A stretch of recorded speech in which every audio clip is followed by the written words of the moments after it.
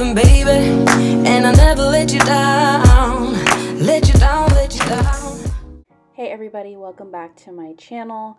I had a few of you guys asking for a little more of an in-depth tutorial on this map design, so let's just go ahead and get straight into it. So first things first, we're going to go ahead and open Procreate, and on the right hand side click the plus, and we're going to choose a square for this design.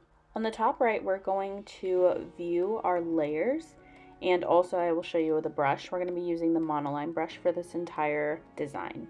Also take note the right hand corner, this is where you'll choose your color of the brush. So I chose a green here and you can move it around to choose the shade. And then this is just me showing you the green brush. You can resize on the left. You can change the opacity on the bottom. Then you can see on the top right that I chose the eraser just to erase everything that I had written. Now let's go to the wrench on the left hand corner. This is where we're going to insert our photo. This takes you to your photo library. So you'll just choose the screenshot that you chose. I'm choosing a park nearby that I really like to go to and now we're just going to resize and fit it to be exactly where we want it. At this point we're going to add a new layer and you just do that by clicking the plus button. I'm going to take the color of the water by holding down and it'll automatically choose the color that you have selected. We're going to go back to our original layer and we're going to turn down the opacity. So basically you click the little N and then you can move the little bar on the opacity there. Then let's go back to layer two and we're going to start drawing our water. So basically we're just going to follow the path of the water based on the picture behind it. And that's what you're going to do for all water in the picture. So let's speed through this.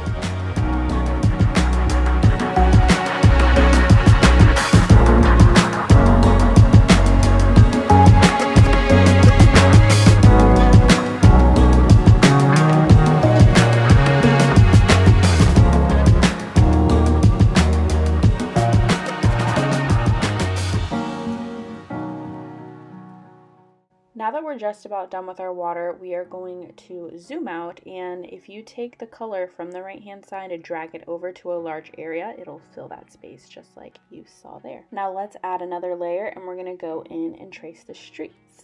Again, we're just going to stick with the monoline brush and this time we're going to use black. So if you'd like the perfect black, you'll just double click the bottom area there and it'll get that perfect black for you.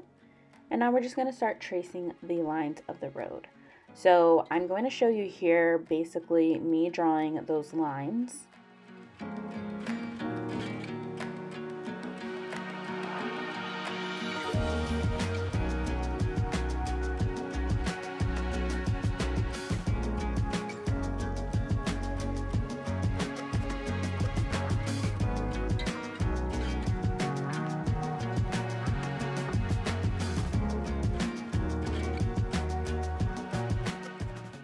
And before we start speeding this up, I want to show you how to get a perfect straight line if needed. So right here you can see that I draw it, but I don't let go and then it straightens itself out. Now let's speed it up.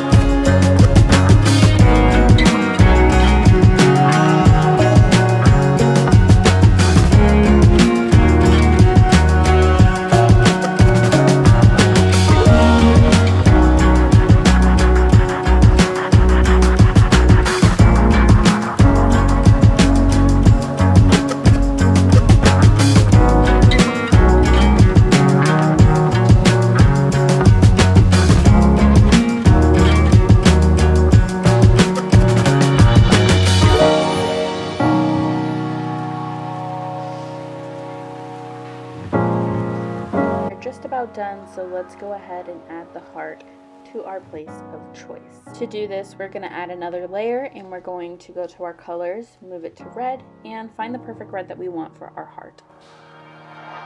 Zoom into your place of choice and go ahead and just draw a heart right on top.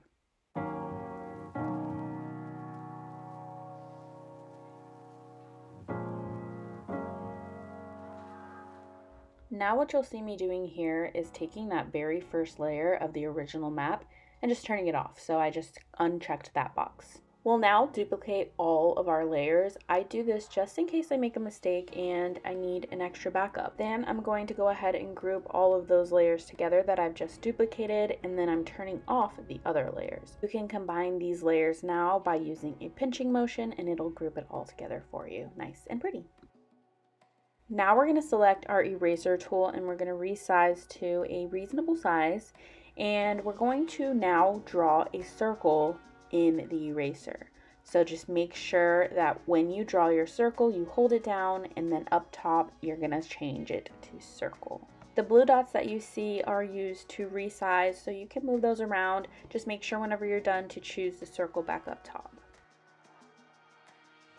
Now we're just going to go ahead and erase everything on the outside of your circle that you just drew.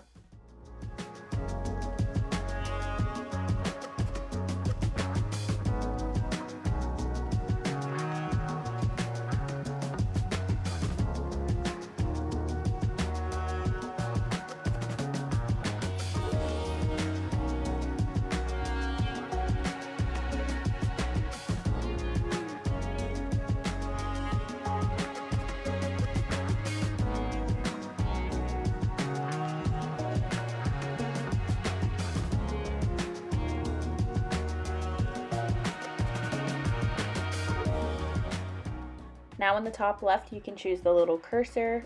This will select everything that's in that layer and you can move it around, place it exactly where you want it to be. Now to add text, you actually don't need a new layer. When you add text, it'll automatically make its own layer for you. So we're gonna go to the wrench on the left and choose add text. Making sure all of the word is highlighted, you can change the color. And then I'm gonna just type in what I want my map design to say.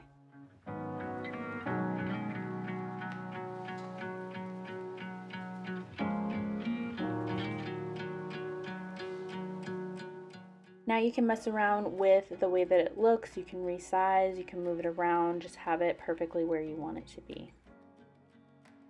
To change the font, you can double click and move those blue dots all the way to the left. Choose the font up top and then you can scroll and find a font that you like. I'm using an imported font that I imported to my iPad. Now again, we can just use our selector tool up top and just move things around, make it bigger, smaller, however you need it to look. Also just make sure that if you want to move something in particular like the map design, go to that layer to make that change. I'm going to show you very quickly how you can make sure everything lines up perfectly. So you can choose canvas and then turn on your drawing guide. If you go to your edit drawing guide, you can change the grid size, the thickness, opacity, all on that bottom part there, and then click done up top when you're done. This will give you the opportunity to make sure everything lines up perfectly and is nice and symmetrical. Now let's go back into our settings and turn off the grid just so we can see our final product. And here we have it, my favorite park. Now we can export this image by going to the wrench, going to share, saving it to a JPEG, and then I personally just save it to my images, and then I can post from there or put it wherever I need it to be. Anyways, I really hope you guys enjoyed. If you have any questions, please leave them down in the comments and I will be really happy to answer them. I hope you guys have a good day and I'll see you guys next time. Bye!